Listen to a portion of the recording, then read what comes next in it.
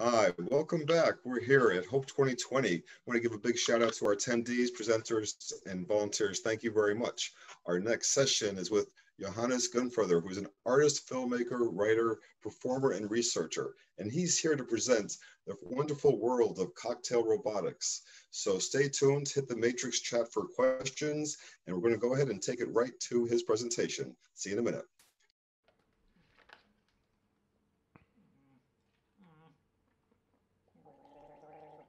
Welcome, ladies and gentlemen of whatever gender you prefer. Welcome to another presentation at Hope. And hello at the Monochrom headquarters here in Vienna, Austria. Austria is primarily known for music and mass murder, but we're not going to talk about that today. My name is Johannes Grenzfurthner, and uh, I'm an artist. Well, I'm also a technologist and uh, a filmmaker and a consultant. And that means I'm also an insultant because uh, that's sometimes how you have to do it. And people actually pay you for that. It's very strange. Well, I laugh about stuff like that. Or that. And I think it's very true what you can read here. Do what you love, and you will work super fucking hard all the time with no separation or any boundaries, and also take everything extremely personally. I am uh, the founder and still member of Monochrom. Monochrom is an art technology philosophy collective based here in Austria. And uh, I want to introduce you to my co host today. And the co host is, one second.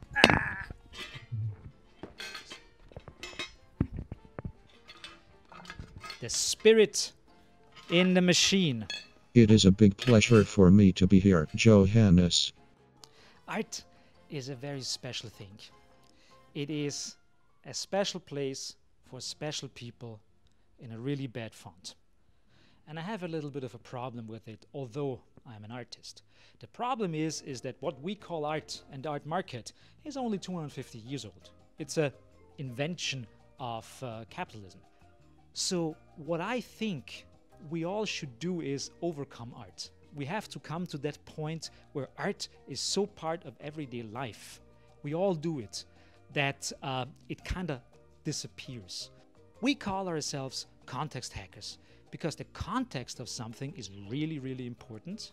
If you put something in a gallery or into a nightclub, completely changes the piece. And hacking. I like the term hacking because hacking means to do something with a technological or social system that you shouldn't do with it. There is a form of appropriation and misappropriation. Context hacking transfers the hacker's objectives and methods to the network of social relationships in which artistic production occurs and upon which it is dependent. There is always a way to get a message across, but sometimes you need a couple of adapters. I personally want to create emotional machines. That doesn't mean that I necessarily have to create machines all the time, but an emotional machine is also a good story if you tell a good story, if you watch a movie and that movie works for you, then that's an interesting emotional machine. Because everything in that piece of art, everything in that piece of storytelling works and pushes the right buttons. In the end, you can have a lot of debates if Titanic is a good or bad film. But if you cry in the end, the emotional machine worked. There is an element of storytelling, of politics and of technology that I'm interested in.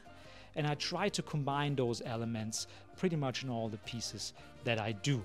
One of Context Hacker's central ambitions is to bring the factions of counterculture, which have veered off along widely diverging trajectories, back together again.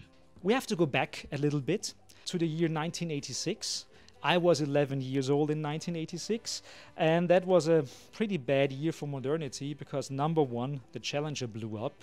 Number two, Chernobyl exploded. And number three, at least uh, for Europe, Jörg Haider came to power, and that meant that he created the blueprint for uh, all the right wing populist um, parties that you see uh, in Europe, but pretty much like also all over the world. It was the time that I started reading cyberpunk and sci fi and all that stuff. I was a very nerdy person. I also watched Robocop and similar films, and I was very much interested in this like near future society. So, what will happen in the next 25 years? It was the year that I got my first computer. I remember when I got a new device for my computer, I connected it to the phone line, and the device sang a robot love song to a device on the other end of the line. That made the devices connect, and I could go online and exchange messages, download images. And that was one of the most important things that ever happened to me because it helped me connect to other folks all around the globe. Communication is key in nerd culture, but we have to be aware that if that communication fails, you will create a toxic troll wasteland, and uh, not even robot love songs will save you. That's how I looked like, and it was also the time when I downloaded my first porn image from a German BBS from Austria. It took six hours to download it, and uh, I think I even came before the first like 12% were downloaded because I was so. Uh, that was the start for me to be interested in things that I did not have direct contact to books, files, all kinds of weird information. And um, we were also already entering the 1990s. I started reading Iain M. Banks and uh, uh, the Industrial Culture Handbook by Research. I got interested in projects by the Survival Research Lab or by Stelarc. I was a classic post punk. The revolution that punk created was still kind of like echoing through culture when I grew up when I was 15, 16 years old. Punk was, and you have to remind yourself of that, also a technological revolution and a DIY revolution. Most of the consumer technology out there in the 1970s and 1980s was technology that uh, baby boomer parents bought and used it in a really boring way. Like, you know, like Polaroid cameras, cassette recorders, uh, videotaping systems, video cameras, that kind of stuff, Xerox machines. The punk kids of the 1970s and 1980s took the consumer electronic their parents never used and used that technology in a creative and interesting way. They started bands, they started creating fanzines, they started uh, doing interesting experiments with electronic uh, devices. It's also the time the first hackerspaces emerge. And that positive creative abuse of technology is something that enormously shaped me. That's how I looked like back then, and it was the time around 1992 and 1993 that I wanted to create something, and I called it Monochrom. The basic idea was to form something like an organization that could do interesting projects. We started with a fanzine because the basic idea was how can we teach people about the cool stuff that's going on in our life and our sphere of interest and how can we learn from them? So we somehow have to get our hands on them. So we thought a magazine a fanzine is a good way. At the same time we realized well only people who are interested in underground culture are interested in fanzines or even know what a fanzine is many people that we would like to talk to we thought are not online so what could we do and uh, it was a little bit of a dilemma. The basic question is if no one wants to listen, how can you actually send out messages that people understand and want to hear? So, the basic approach of monochrom since the 1990s didn't change. We want to find the perfect weapon of mass distribution of an idea, to find the right medium to tell a story. And I mean, there are many media out there, so you can try. So we started as a fanzine, but not that many people read fanzines.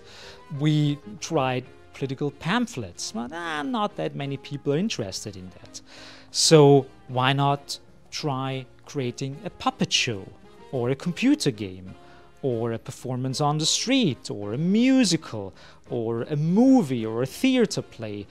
Sometimes we even bury people alive. We do that because we want to teach people about uh, medicine. We want to teach people about the history of the idea of death and how that changed over the centuries.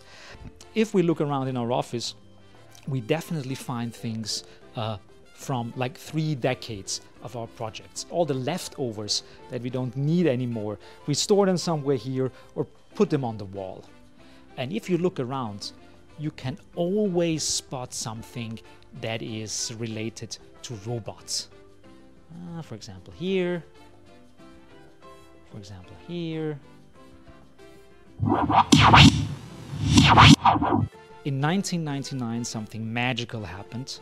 It was the birth year of Roboexotica. And Roboexotica is the festival for cocktail robotics. And we are creating it together with Shifz ever since, for 21 years now. And I can tell you, I've seen a lot of weird shit at Roboexotica. First of all, why cocktail robots? Well, people like cocktails, people like parties, and people like robots. So why not combine those elements and actually attract a crowd of people to go there? At Roboexotica, we're interested in machines that mix cocktails, serve cocktails, light or smoke cigarettes, offer bar food, or have bar conversations. That's a great Turing test right there. So, first of all, we have to ask ourselves what is a robot?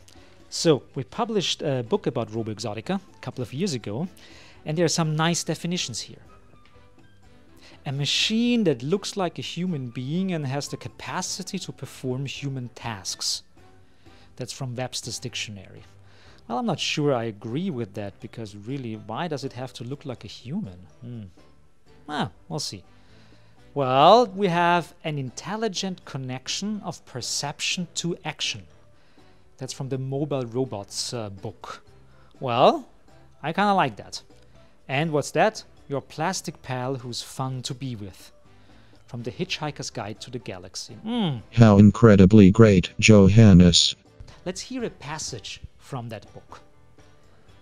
Ever since the cocktail of primeval muds spat out human spirit out of evolutionary euphoria, that spirit was eager to create tools of ever growing extravagancy in order to hand over all the dangerous, annoying, and boring work. Currently, robotics is the result of this development. The central question is how to transfer the efficiency of human actions onto a couple of chips in a metal case.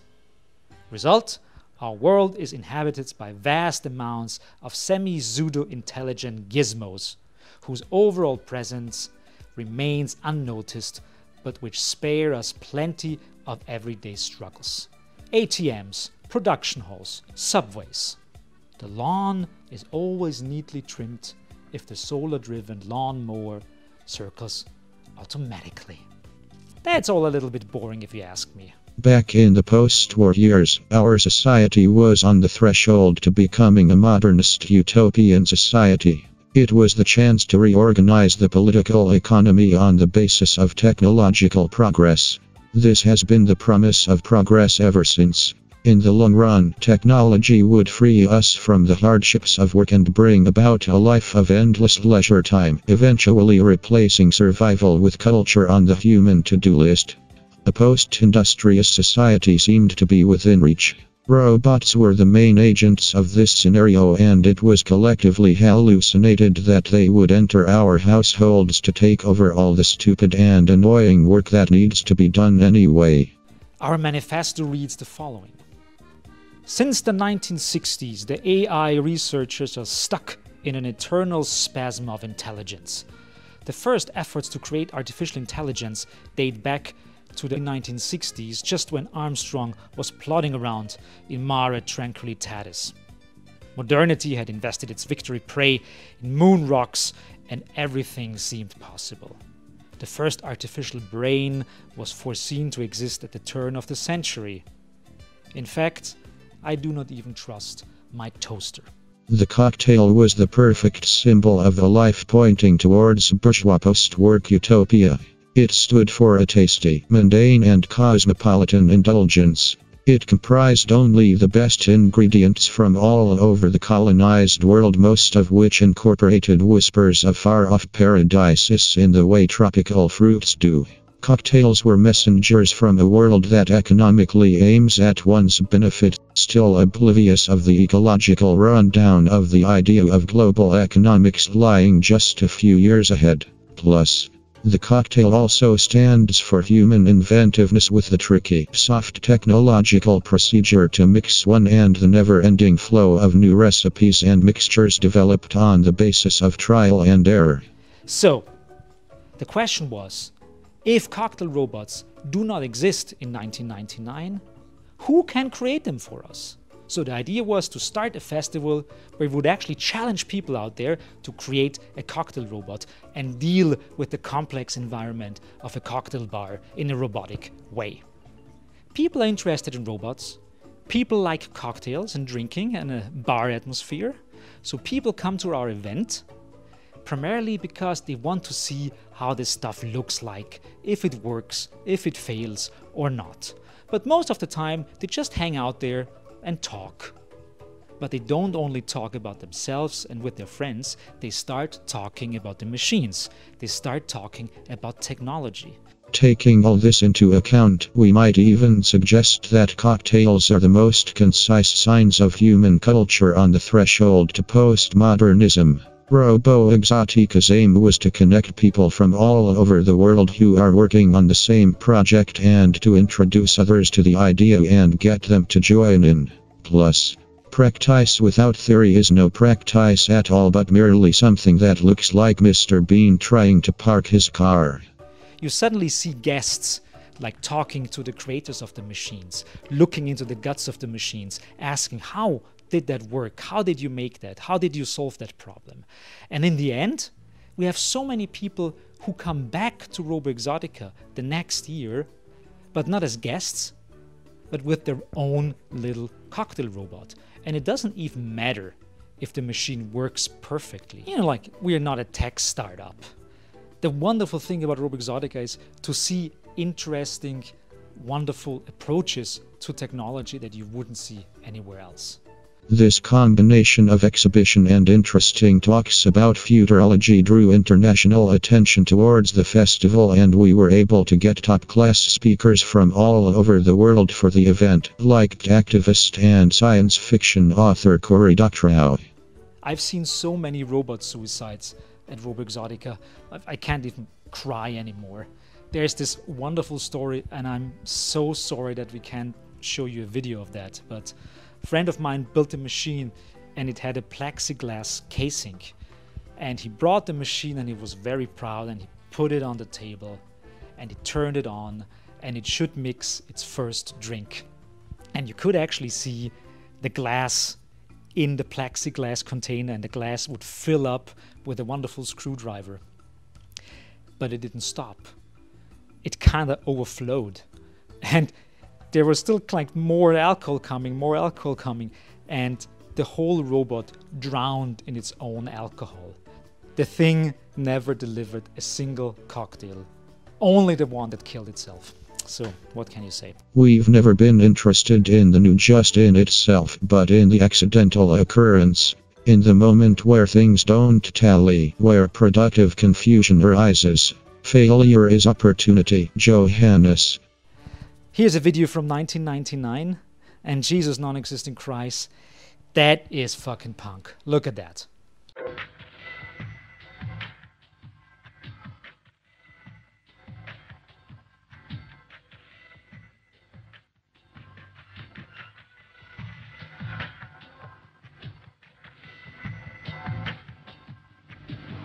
Vergangenen Freitag fand im Kulturzentrum Wex in der Zentergasse der erste nationale Cocktail Robot Award statt.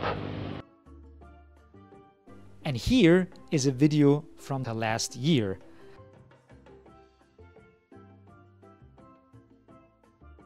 That's a very nice robot arm. But it's kinda something that you would expect. I really like the guys and it's a really great machine, but there's there's something missing. So what is missing? Maybe something that you can see in this machine here.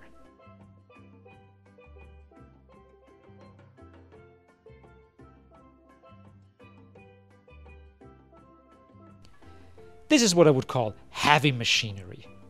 Robomochi is the most inefficient and most beautiful mojito making robot in the known universe. It's uh, moving the chain with compressed air, so it is enormously loud. You can't stand next to it and have a conversation, you'll probably lose your hearing. Cheers to that, Johannes. This machine here makes a layered cocktail out of different forms of alcohol. It is very, very beautiful. And here we have the Robo Jesus. Robo Jesus is a contraption that changes water into wine. So you have to pour in water and the machine actually will serve wine. The machine was created by someone who worked for Pixar. And you kind of see it in the design of the machine. This machine from Russia delivers a cocktail, but as steam. It turns absinthe into vapor and you inhale it through the brain of a dead sheep. What a lovely story, Johannes. Let's have a look at the video that was taken in 2010, so 10 years ago, to give you a little overview of how RoboExotica looks like.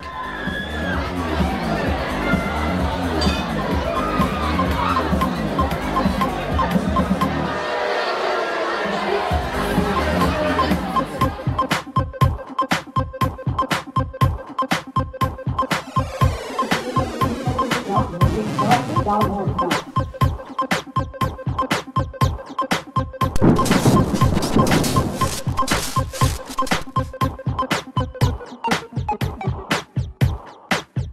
don't you just shut up?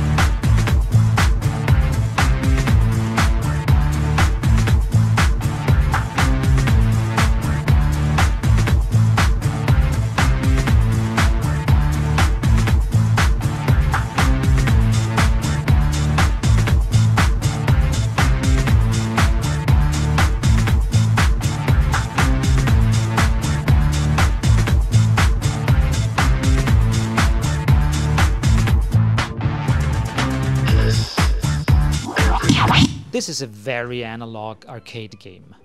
It's called Shotbot, and by using the joystick, you would actually move a camera and a little pipe.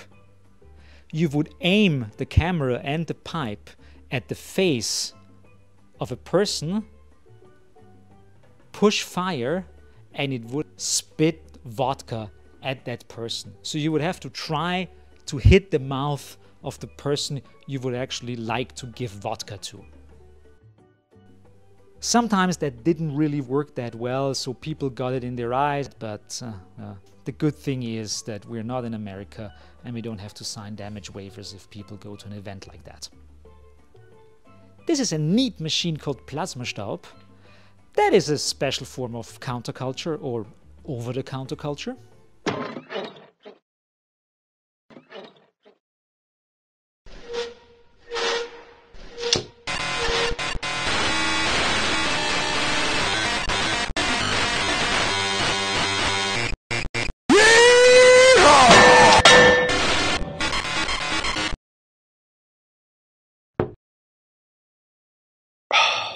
culture. Roboexotica works on a collective interface to remind us of the pristine idea of robots serving us and to focus again on the full cultural meaning of robots. Capitalist slaves for all tomorrow's cocktail parties. Over the years, we have seen that more and more cocktail robots use a form of gamification approach. Oh I do want a cigarette. What's your name? Gordon. Gordon? Hi. Yeah. Gordon? We are two um, yeah, artists from Vienna. And we built uh, the web bot. Web means uh, uh, to throw in Dutch because we developed it in the Netherlands. Uh, don't ask why, but yeah, that's true. Uh, that's a fact. And we have here a nicotine cybernetics machine. Uh, the input is the demanding smoker. He wants a cigarette. He's starving for cigarettes. So he just shout out "chick," which means uh, "sigi" in Austrian slang. Okay. And yeah, then the robot starts uh, its procedure, and yeah, he will throw you a cigarette directly into your mouth. My name is Leo Pesta, and yeah. Um, and you worked on the machine together? Yes, we worked together. We kind of um, did all the hardware and software together because we uh, both media artists and work in this field for several years now, and Okay. Yeah, so he, he, provided us with geekgasms because with he, he, was he was re responsible for the face detection. Calculating a triangle between eyes and mouth, okay. and then we know kind of precise where the mouse should be and can try to find it and shoot a cigarette to it. Oh.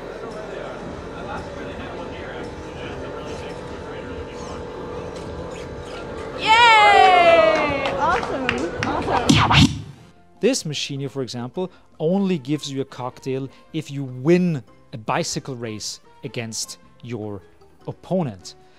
We have also seen that with computer games, one group created a form of snake. So you would play the snake computer game and you would have to collect um, lemons and cherries and stuff like that.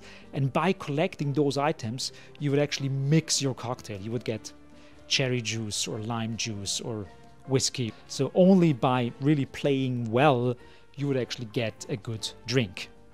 Alcohol was pretty much a concrete mixer full of screwdriver. And you would have to get on the floor in front of it with a funnel and it would tilt itself and pour alcohol into the funnel. So it was pretty much a mixture of a cocktail machine and a waterboarding device.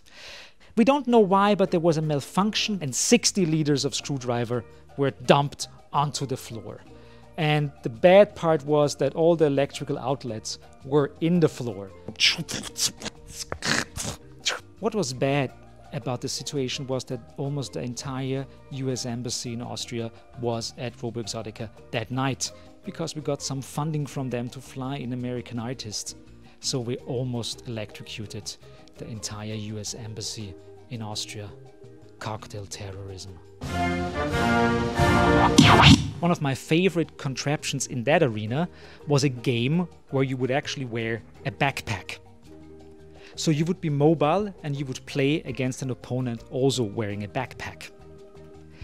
The basic concept was a laser tag game, so you would run around through all the guests on all the different levels of Roboexotica and shoot at each other but you would only get ammunition to shoot the other person if you would suck vodka out of your backpack. And of course, the more you suck out of your backpack, it's a little bit harder for you to aim and shoot.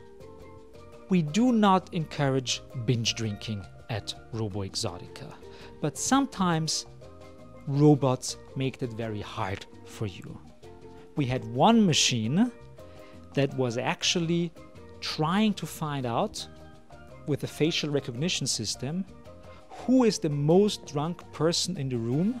It would follow that person and give that person more alcohol. So, in a certain way, it was an escalation machine. We never really knew if that worked, and I doubt it that someone built a facial recognition system that can tell you if you're inebriated or not. The people were seeing the robot following them and completely freaking out. No, no, go away. I don't like that. I'm not that drunk. Leave me alone. Perfect emotional machines in the best sense. This is a robot dress created by Anouk Wipprecht. It is a truth or dare game. So the person wearing it was walking around at Roboexotica and offering other people to play a game of truth or dare, and there was the possibility to win a cocktail with that. And this little fellow was really interested in giving you beer. This is good, Johannes. This is shot from above, also a game. You would have to get under it, look up, and try to catch the drink that's delivered to you by the system. I haven't yet talked about bar food. Of course, bar food is very important. If you go to an event and drink a lot of alcohol, you need something in your stomach, like we call it Unterlage in German. And this is one of my favorite Unterlagenmaschinen. It is the Amalé Tomat. It creates a specific kind of pancake. And it was so popular over the years as a returning contestant that the German TV station saw it and invited Zwax, the creator of the machine, to the TV studio. And here's the little video about it. Na na num, na na num, na na num, na na num, na na num. Johannes. Roboexotica is a very friendly but also challenging environment. Let's have a look at this machine. It creates the perfect dry martini based on your brainwave patterns, Johannes. Reinhard Sprung wanted to serve the ultimate non-vegan bar food and experimented with the electrocution of sausages. 30, 540.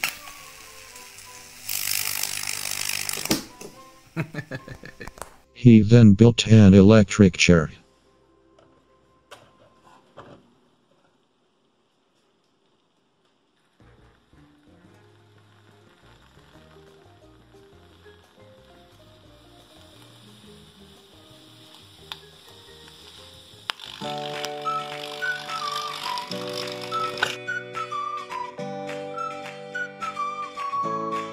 Over the years, we have been working together with many hackers, nerds, roboticists, and artists in the technological sphere.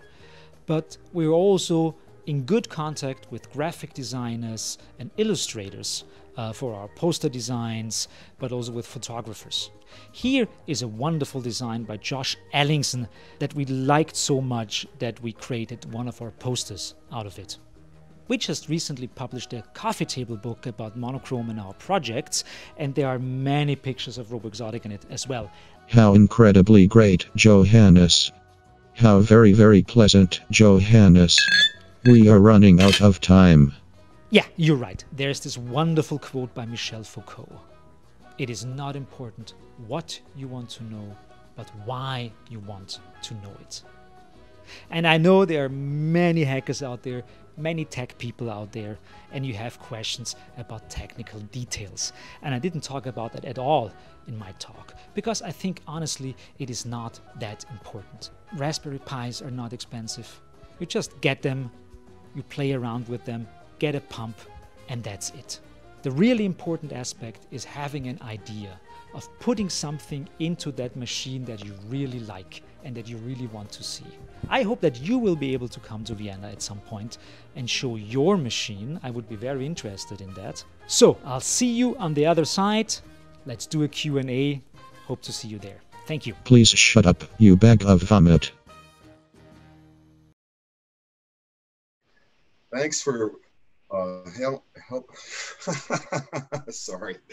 Thanks for coming back with us. We're here with Johannes. That was an excellent discussion about cocktail robots. Amazing stuff. Thank you, Johannes. You're very welcome. Thanks for having me.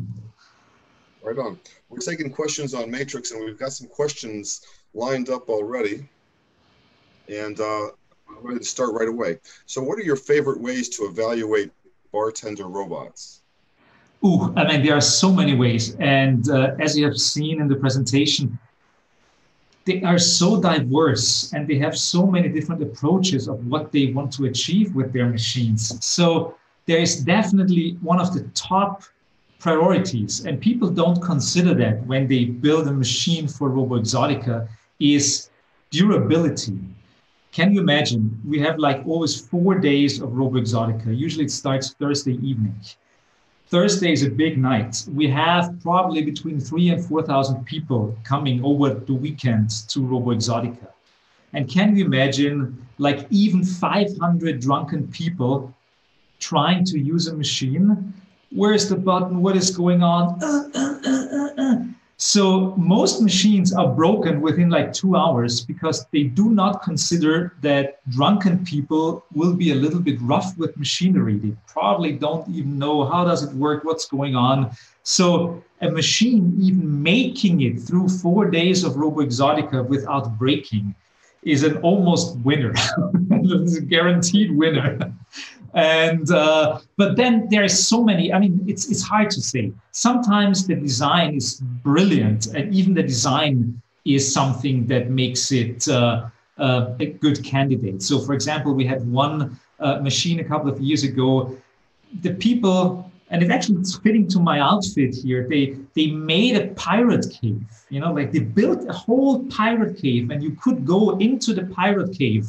And there was this like slumpy, like old, dirty pirate with a tube sticking out his mouth, and you would have to dance for the pirate. You would get pirate hats, and you would have to dance to a pirate song. And if you did the right dance moves, so it was kind of like a Wii control interface. And if you did the right pirate dance for the pirate, the pirate would puke grog into your cup. And then but I mean, the thing was just like just puking grog. I mean, the, the thing, the grog was disgusting, of course, but that was part of the whole thing that you get a pirate pukes into your cup.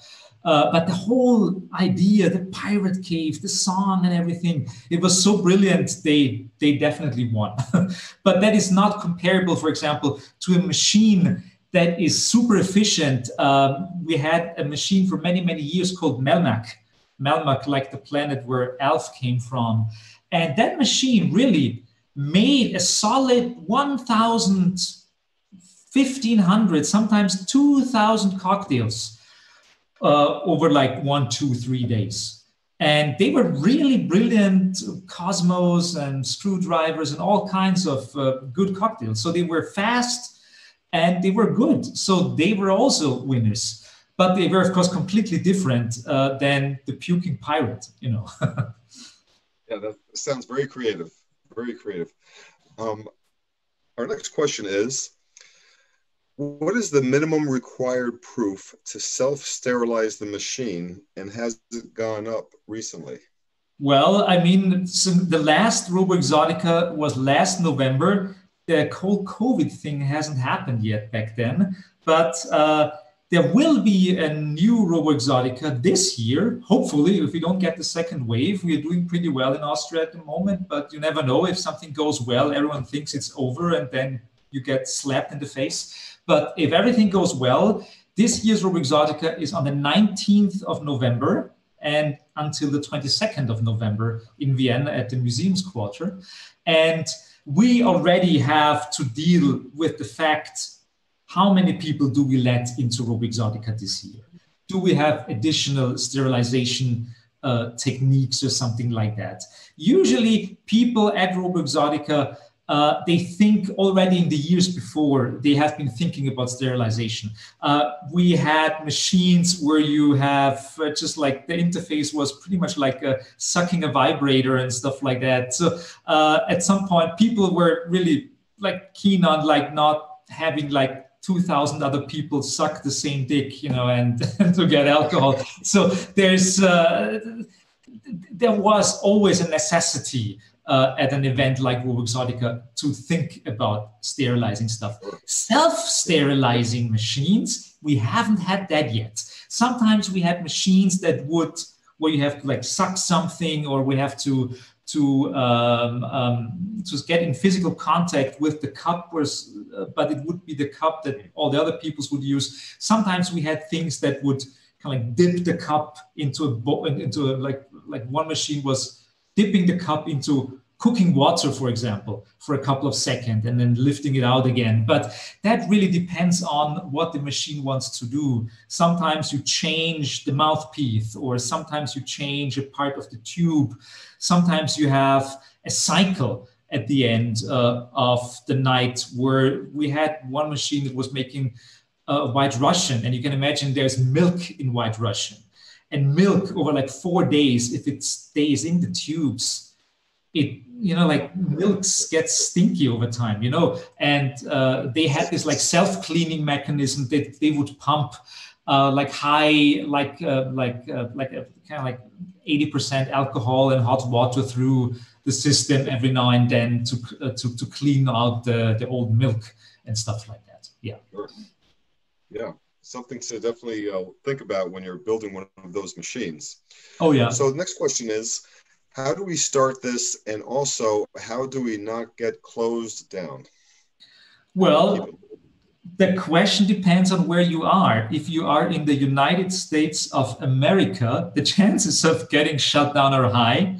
In austria you know like we don't have the over 21 years old rule for bars.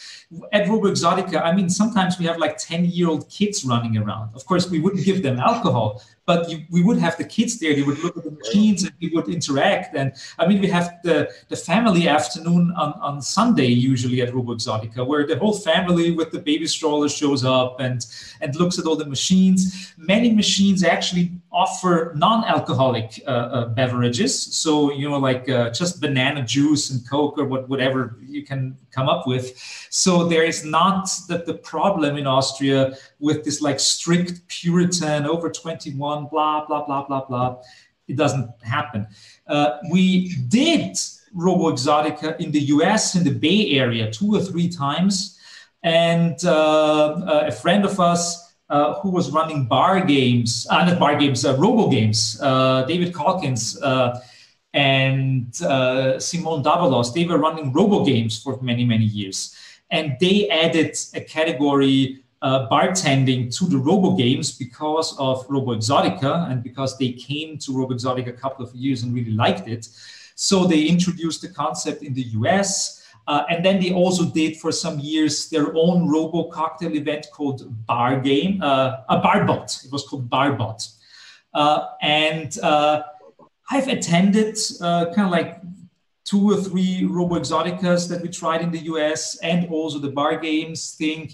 I always have the feeling that Vienna is such a perfect spot and Europe is such a perfect spot for that kind of stuff because people give less fucks about the whole thing. In the US, it's just like the bars want to sell drinks and this and that and over 21 years. So it's so it's so like dampening in a certain way. So I never found that uh, cocktail robot events in the US that came up after we started it kind of like were super fun. There is one I heard in the DNA lounge going on right now. I've never been there, and also they never contacted us in any way. So I don't know what those guys are doing and if it's fun, what they think. I've never been there. But I, I think you need a certain level of anarchy going on. And uh, Vienna can provide, although many people think it's very conservative, Vienna can provide a certain level of anarchistic spirit that is needed for cocktail robotics. yes, you know, uh, Vienna and, and, Austria, they were so centrally located. It's, a, it's really a great location. It's such a beautiful town there. So our uh, next question is, do you have nurses on call to take care of the alcohol comas? Well, um, most of the time we are the nurses uh, and i've seen weird shit going on. Oh my god. And i've dragged out many many drunk people out of Roboexotica i have i've seen uh, cocktail robot makers being very pissed of people puking on their machines and stuff like that. But yeah. honestly that happens very very seldomly.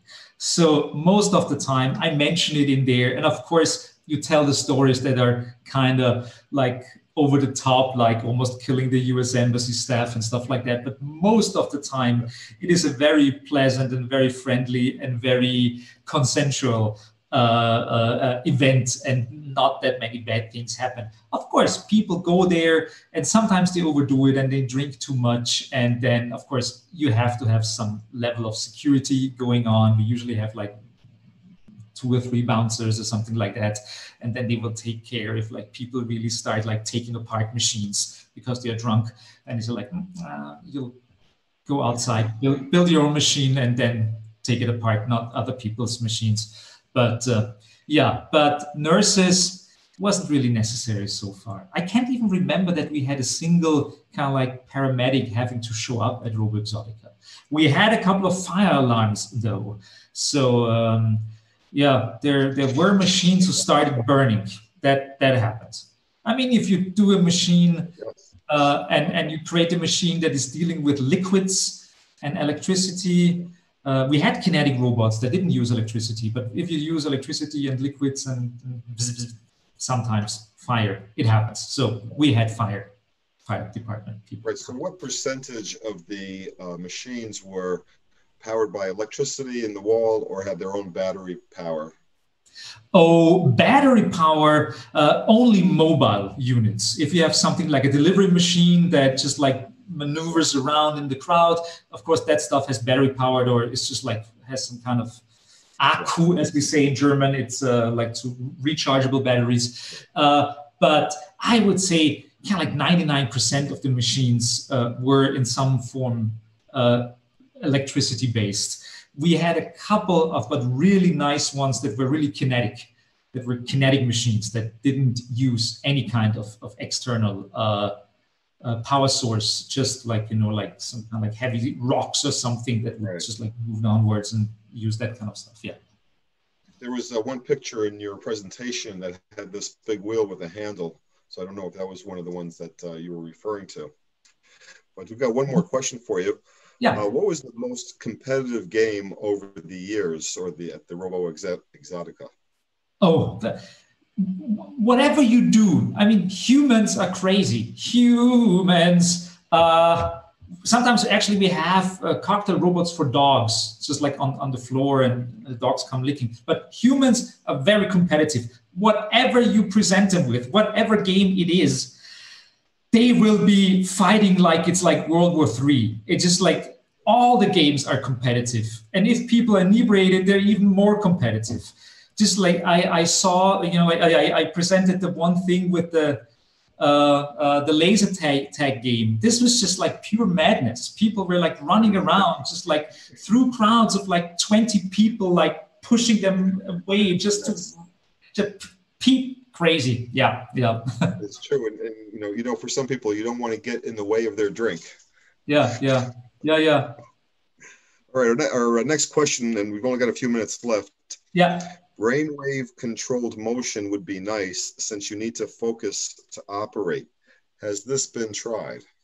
brainwave controlled motions we definitely had like a couple already uh, a brainwave like eeg uh, controlled robots. There's even one in the presentation. Uh, it was like doing the perfect martini for you, a dry or not so dry martini based on your brainwave patterns. Uh, but we had, for example, um, a cocktail robot game that where you would control with your brainwaves, uh, kind of like a, um, a remote controlled car, and you would move the car around to deliver stuff. So that was really, really interesting, and that worked actually pretty well. Yeah, yeah. Well, um, we're just about out of time. I really want to thank you very much. Uh, let me just make sure we've got all the questions. Uh, one more question then. Hope has had several talks about maker spaces. Have they participated or should they in Roboexotica? Oh, oh yes. Uh, I'm very proud of Vienna because we have uh, MetaLab in Vienna, and MetaLab was one of the first like there's this you know like cambrian explosion of hackerspaces that happened in 2007 when it was when Nick Farr did the tours through all the maker uh, spaces and stuff so uh, uh, MetaLab was kind of like also one of those hackerspaces that became kind of like the blueprint of many other makerspaces. And MetaLab has been part of Roboexotica since the beginning of of, uh, uh of MetaLab. So Zwax, the the crab machine, not crab machine, crab the crab machine, uh, pancake machine. Uh, so Zwax is a member of MetaLab, for example. And some of the machines you saw, uh, they, they came out of MetaLab. There, uh, there are people like, there's this like wonderful uh, little maker space in Durango, Colorado, for example. And people from there came to Austria to show cocktail robots. So from a makerspace in Durango in Colorado. So yeah, makerspace community hackerspace community, absolutely. We have seen many wonderful machines. Yeah, yeah. All right. Well, what we have uh, not seen, oh, oh, one thing, challenge, yeah. challenge. What we have not seen yet, what has not done yet, what has not been done yet is kind of like a defrag machine. We always wanted a machine where you put in a cocktail and it takes it apart, you know, like with a centrifuge or something like that, taking apart uh, the alcohol or the, the sugars and stuff like that. So, like the reverse engineering uh, cocktail robot has not been done yet. A couple of people tried, but they were afraid that the centrifuge would malfunction. As I don't know, but that has not been done yet. If that is a challenge, then it is. it sure is. Well, Johannes, on behalf of all the Hope 2020 attendees, presenters, and volunteers, we want to thank you very much for sharing your presentation today. It was a pleasure having you. And uh, in case anyone wants to contact me, you can find me. I'm the only person with my stupidly long name on the internet. Cheers.